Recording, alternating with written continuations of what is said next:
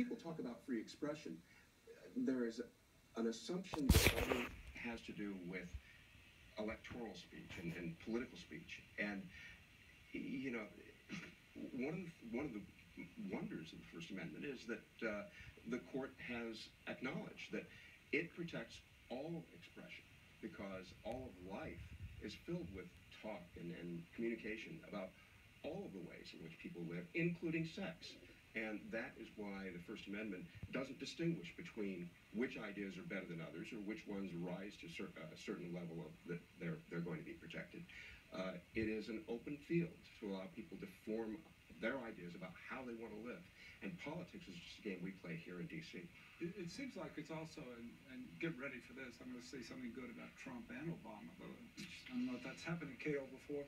The Trump's done a good thing in the sense that he's got a lot of people interested in uh, politics, but more than that, he got them motivated and he got them to believe that there could be.